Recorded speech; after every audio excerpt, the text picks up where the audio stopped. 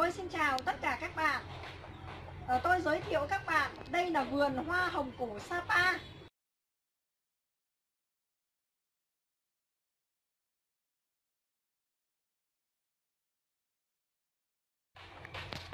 Hoa hồng cổ Sapa tại vườn của chúng tôi có trên 300 cây.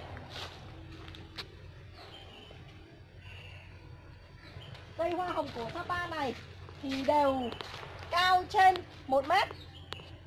Mỗi cây có chiều cao từ 1m2 cho đến 1 cho đến 1 mét rưỡi. Cũng có cây cao trên 2 mét. Cây gốc to khỏe. Cây hoa hồng cổ Sapa là gốc to khỏe, thế đẹp.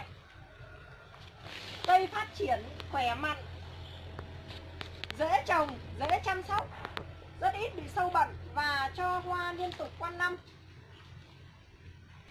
Đây là cây giống tại vườn chúng tôi, mới được cắt tỉa hoa để cho cây ờ, phát triển, tán và ra nhiều hoa mới.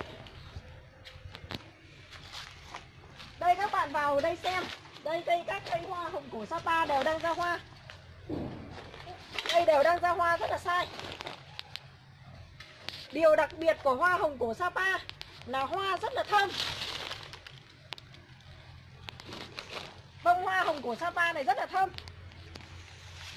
Cây rất là sai hoa và cho hoa liên tục quanh năm. Đây đều cây các cái cây đều rất là sai, rất là sai bông. Rất là nhiều hoa và nhiều nụ.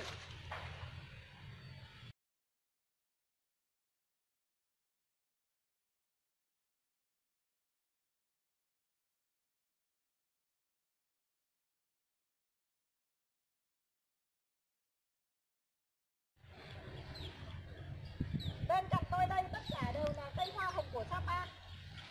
Cây hoa hồng của Sapa này có chiều cao trên 2 mét.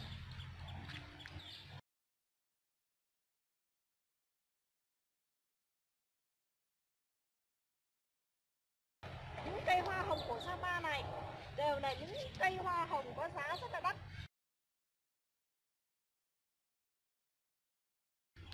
Mỗi cây hoa hồng cổ Sapa có giá vài triệu đồng trên một cây. Đây các bạn xem, đây tất cả đều là hoa hồng của Sapa. Cây hoa hồng này đang ra hoa.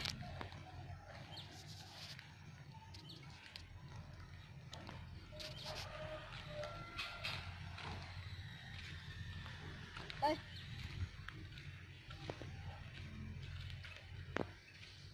Cây đang ra hoa rất là sai. Mỗi cây hoa hồng cổ Sapa này thì đều có thân to khỏe.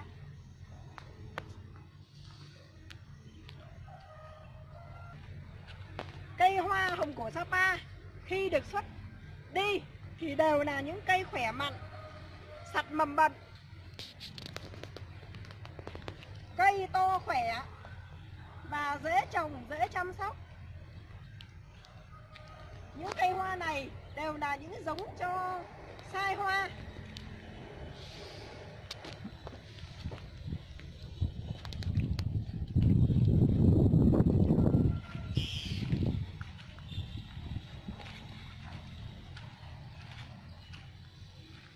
Hoa rất là thơm các bạn ạ.